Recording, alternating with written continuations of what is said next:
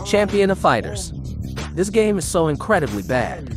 It's basically an attempt to make a fighting game using stolen assets from two-dimensional side-scrolling beat-em-up games. Same with the sound effects. They're stolen also, and the pitch and speed has been lowered. This is truly the definition of shovelware. It controls so poorly, and I have no idea why these stolen assets have Vaseline smeared on them. Probably in an attempt to obscure the fact that they were stolen. Avoid this game like the plague. It gets a 1 out of 10.